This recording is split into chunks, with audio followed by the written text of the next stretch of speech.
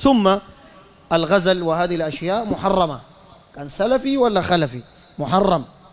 قال النبي عليه الصلاة والسلام ما تركت بعدي فتنة أضر على الرجال من النساء. وإن أول فتنة بني إسرائيل كانت في النساء فاتقوا الدنيا واتقوا النساء. كل ما ابتعدت من النساء. يعني بالحرام كل ما ابتعدت من الحرام المعاملة المحرمة مع النساء كلما اقتربت من الله سبحانه وتعالى. وكلما اقتربت من التعامل المحرم مع الفتيات ومع النساء كلما ابتعدت من آه الله سبحانه وتعالى ومن الإيمان الكامل والإيمان الصحيح. الإنسان يحذر أشد الحذر من التعامل مع النساء. التعامل مع النساء الغير محارم هو أن لا يكون هناك تعامل. ما في حاجة اسمه في الجامعة وديني كراسك إن شاء الله تسقط ذاته. أوعك تقول لا ديني كراسك أسقط جيب صفر. لأنه الكراس بيجيب له قلم. والقلم بيجيب له رصيد. والرصيد بيجيب له رسالة. والرسالة بيجيب لها مكالمة. والمكالمة بيجيب لها موعد. والموعد بيجيب لها لقاء. وبعد ذاك حسرة وندامة ما في كراس. خالص. أنت ذاتك اللي عرفك بيه شنو تقول اديني كراس. والورداك تشوف كراسه شنو. ما في. أي تعامل بين الأولاد والبنات اطلاقا. اطلاقا. أبعد تماما. خلاص؟ خلاص ضاق بيك الحال. امشي عرس هيدق الباب كو كو أنا داير بيتكم. رجعوك أرجع. أدوك شيلة. بس انتهى ما فيش. رجعوك يصوم. صوم عديل كده.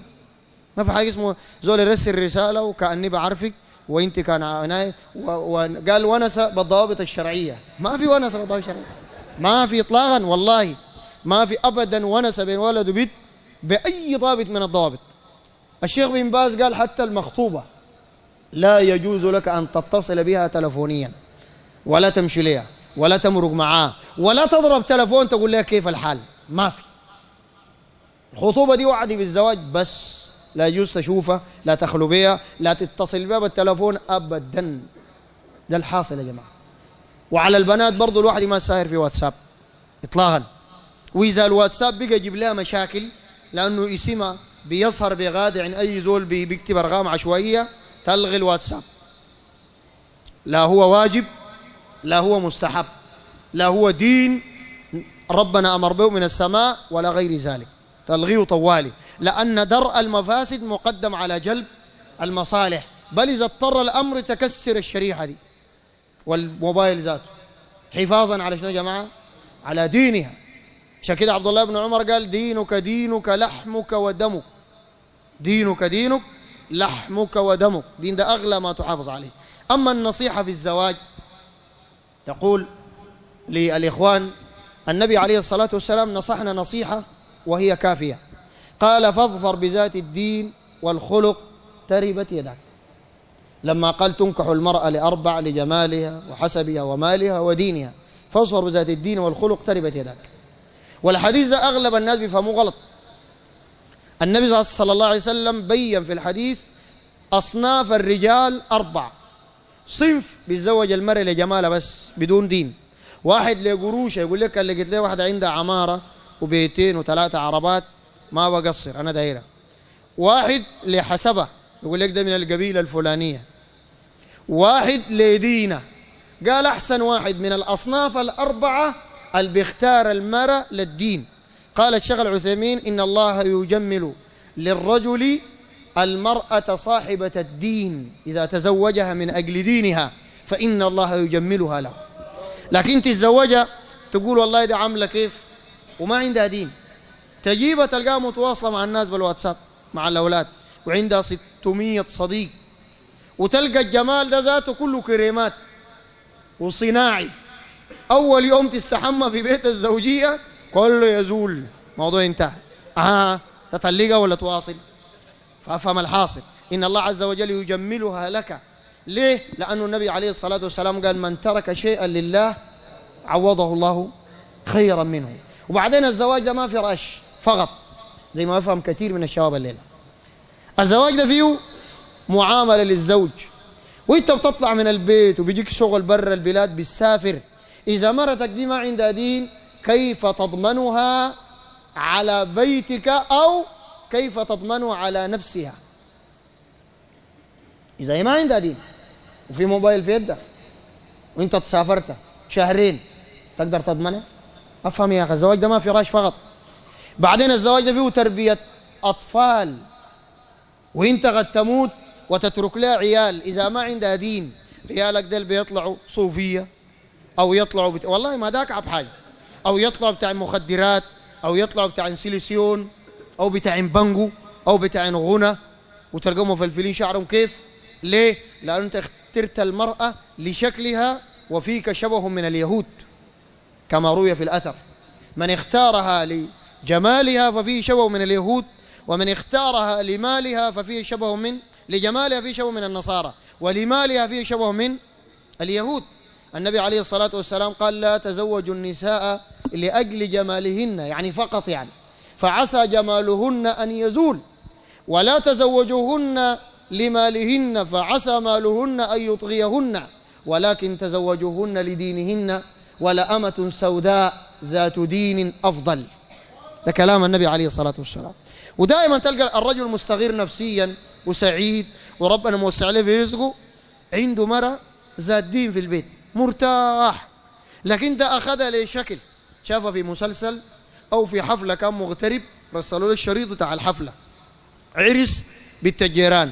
بنات رقصوا مع الأولاد.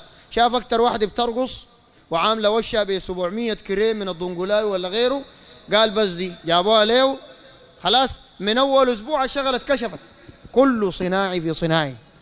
البرنامج كشف وبعد ده بيحصل مشاكل وضرب وتلقى الرجل ده مهموم. وباله ما مرتاح ونفسياته ما مرتاحة. ليه؟ لأنه ما استجاب لوصية النبي عليه الصلاة والسلام. فاظفر بذات الدين والخلق تربت يداك. وعلى الإخوان أهل السنة والجماعة السلفيين إنه يزوجوا الأخوات السلفيات. زوجوا بنت خلت الصوفية. كفرت بهم. كفرت بالإخوان المسلمين. كفرت بحزب التحرير. كفرت بالسرورية. ناس عبد الحي يوسف. كفرت بأنصار السنة بشقينهم إصلاح مركز عام غير كله. كفرت بالجمعية كفرت بالحلبي كفرت بدجال الفتحاب كفرت بغيره. هذه حتعرس منو يعني؟ دي حتعرس منو ما سؤال منطقي ولا ما منطقي يا جماعة؟ أنا والله أكلمك بصراحة. سؤال منطقي. حتعرس منو جاء ودي عمها أبوها أجبرها بتقول لا صوفي تجاني ما دايره. ود خالته سماني ما دايره ابوها قال أيوه أنتوا ما دايرة صوفية خلاص. ده كان صار سنة تلميذ بتاع الفتيحاب. قالت ده بس ما دايره لأنه سب الصحابة. حتعرس منه ما فهموا أنتوا حتعرس منه فلازم الشباب كمان يتنازلوا شوية يا جماعة. ويتزوجوا هؤلاء الأخوات السلفيات صاحبات المنهج الصحيح. خلاص؟ وربنا والله يرزقك منها رزق عجيب من الأولاد الصالحين والبنات الصالحات. ودي حتربي لك ولدك ولدك نفس المنهج بتاعها هي وبتاعك انت. ولا يطلع منهجه قوي. شفت كيف؟ يناظر أهل البدع يناظر الصوفية يناظر أهل الضلال. لكن تجيب لك واحدة ساكت تقول والله يا أخي دي جميلة وأنا شفتها في غيره ولا في غيره ولا في الشارع. وأغلب البنات اللافات في الشارع دي شينات. ما بديك حديث الرسول صلى الله عليه وسلم ما من رأسي أنا. قال النبي عليه الصلاة والسلام إن المرأة إذا خرجت انتبه للحديث ده جيدا إذا خرجت من بيتها بنات اللي بيطلعوا شوارع ديل استشرفها الشيطان. قال ابن عباس استشرفها يعني جملها. شفت البنات اللي بيلفوا الشارع وشايفوا لابسات ضيق ديل ومبرقطات وشهم بألوان ديل في الأصل شينات. لكن لأنها بتطلع برا الشارع الشيطان ماله؟ غير الكريم بتاع دنقلاوي وغيره في شيطان عنده كريم تاني. خلاص بيجملها. والله العظيم جد الكلام ده أنا بوريك له خلاص يجملها ليك. ابن عباس قال استشرفها يعني جملها الشيطان. انت شوف دي في شارع البنات اللي ابساط ضيق تقول ديل جميلات. يجيبوا لك واحدة منقبة أجمل من ديل بمليون مرة.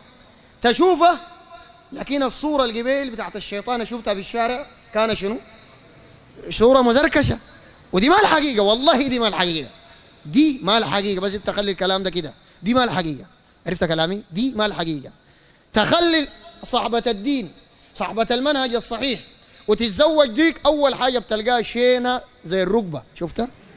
اللون البرة شفته زمان ده كله ما في. كله ما في. الشكل الحجم ذاته بتلقاه بيختلف لأنه الآن في حقن بيضربوها البنات بيسمن مناطق معينة في الجسد. عديل كده.